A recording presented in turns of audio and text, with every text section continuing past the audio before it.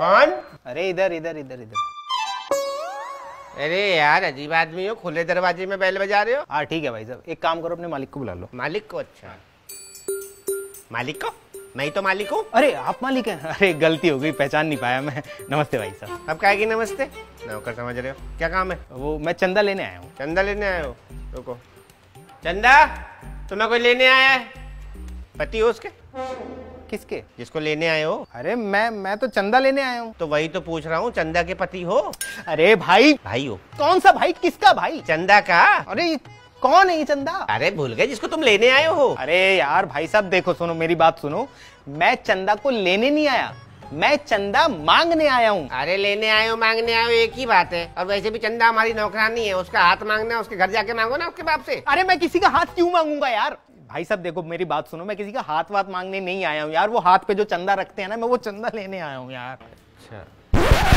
लेकिन वो चंदा इतनी छोटी थोड़ी है जो तुम्हारे हाथ में आ जाएगी। मामा हो क्या उसके? किसका? चंदा के चंदा मामा दूर के पुए पकाए पूर के। मेरी बात सुनो ढंग से सुनो। मैं उस चंदा की बात नहीं कर रहा मैं इस चंदा की बात नहीं कर रहा। वो जो दूसरा चंदा होता ना मैं उसकी बात कर रहा हूँ। लेकिन दो तो तुम पहले से बोल चुके हो। ठीक है मैं दो चंदा बोल चुका हूँ ना? हाँ। हाँ तो वो जो तीसरा चंदा होता ना मैं उसकी बात कर रहा हूँ। एक तो मुझे पूरा बोलने भी तो नहीं दे रहे आप। भाई इसके अलावा हम किसी चंदा को नहीं जानते कहीं और जाके देखो। अरे भाई साहब मैं जिस चंदा की बात कर रहा हूँ उसे कोई नहीं जानता। अरे तो जिसे कोई नहीं जानता उसे यहाँ के क्यों ढूंढ रहे हो? अरे भाई साहब जानता कोई नहीं है लेकिन पता सबको होता है। अरे यार जब सबको पता होता है तो और सबसे जाके पूछो ना मेरा दिमाग क्यों खा रहे हो? मैं उस चंदा को ना जानता हूँ ना उसके बारे में मुझे कुछ पता है। भाई साहब आप मुझे पागल बना रहे हो ना?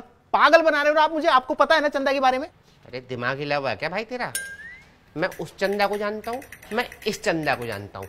इसके अलावा मुझे किसी चंदा के बारे में कुछ नहीं पता। ठीक है भाई साहब आप नहीं जानते ना तो मैं बताता हूँ ना आपको चंदा के बारे में यार। मुझे सुनना ही नहीं है तुझे जिस चंदा की तलाश है ना वो यहाँ नहीं है बस। अरे भाई साहब मुझे किसी चंदा की तलाश नहीं है यार मैं चंदा लेने आया हूँ। अरे यार फिर वही ढाक के तीन पात तुझे चंदा की तलाश भी नहीं है और तू चंदा को लेने भी आया है। अरे तो यार मुझे पूरा बोलने ही नहीं दे रहे ना आप। क्यों बोलने दो? मेरा घर है मेरा आँगन है तू क्यों बोलेगा? अरे जब खुद ही बोलना था तो मेरे साथ बात क्यों कर रही थी? जैसे मुँह क्यों मार रहे हो मेरे साथ? क्योंकि तूने बैल बजाई थी और खुले दरवाजे में बैल बजा दी। भग्गा क्या है क्या? बिजली का बिल नहीं आता? अरे क्या की बिजली का बिल बिजली का बिल है? जरा सी बैल बजाने से कितना बिल आ जाएगा तुम्हारा? जितना भी आएगा भरना तो हमें पड़ेगा तू थोड़ी भरेगा। हाँ भरना तो मुझे ही पड़ेगा। ये चंदा मांग मांग के बिजली का बिल भरते हो क्या तुम? हाँ ऐसे ही चंदा मांग मांग के बिजली का बिल भरते हैं। तुझे कोई दिक्कत है? आ!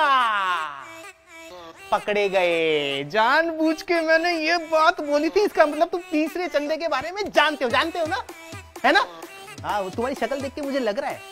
कि तुमने ना ये पर्चियाँ चंदे की बहुत काटी होंगी तभी बिजली के बिल भरे होंगे तुमने है ना? हम्म मतलब तू बिजली का बिल भरने के लिए चंदा मांग रहा है? अरे मैं बिजली का बिल भरने के लिए चंदा मांगने नहीं आया हूँ यार। यहाँ सोसाइटी में प्रोग्राम करवा रहे हैं उसके लिए चंदा चाहिए। अच्छा सोसाइटी में जो प्रोग्राम है उसकी बिजली का बिल भरने के लिए चंदा मांग रहा है? अरे नहीं मेरे भाई यार वहाँ बिजली के लिए जनरेटर लगा रखा है हमने। अरे यार जब वहाँ जनरेटर लगाए तो किसकी बिजली का बिल भरने के लिए चंदा मांग रहा है? अरे भाई वहाँ जो लोग आएँगे वो खाना भी तो खाएँगे ना यार। खाना खाने के लिए खाना बनाने के लिए पैसा नहीं चाहिए उसके लिए चंदा की पर्चियाँ काट रहे हैं। वाह उनके खाने पीने के लिए चंदा मांग रहा है पैसे मैं दूँगा। अरे यार!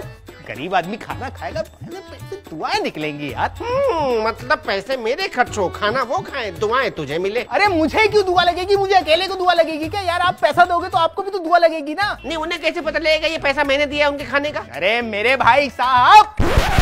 आपका नाम लिखेंगे यार पर्ची पर नाम लिखेंगे हम। हम्म, मेरे नाम की पर्ची काटेगा तो उनको पता लग जाएगा कि ये पैसा मेरे खाने का है।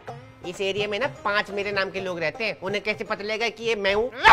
भाई साहब एड्रेस भी होगा नीचे। ओहो हो यानी कि वो पत्तल में खाना लेकर के यहाँ पर आएँगे और मुझे थैंक यू बोलेंगे कि मैंने उनको खाना खिलाया। अरे वो क्यों आएँगे? तो तू क्यों आया है? अरे चंदा लेने यार। चंदा लेने। अच्छा अच्छा ठीक है मैं चंदा देता हूँ। मोबाइल है? हाँ है। कैमरा है मोबाइल में? हाँ। एक मिनट निकाल।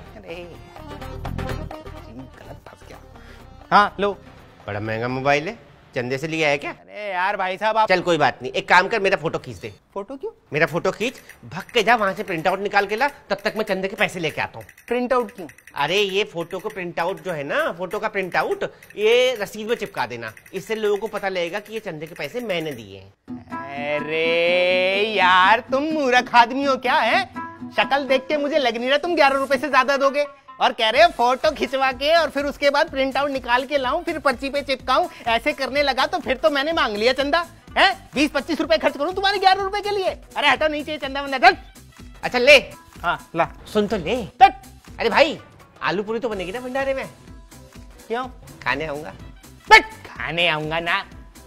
अरे चंदा ना हो गया चंदा नाम का अखाड़ा हो गया। साले ना देने के कितने बहाने बनाते रहते चल यहाँ मालिक टाइम से तनखा दे नहीं रहा है इसे चंदा देगा। हाँ मालिक? अरे कुछ नहीं वो कुत्ते की टांग आ गई गाड़ी के नीचे।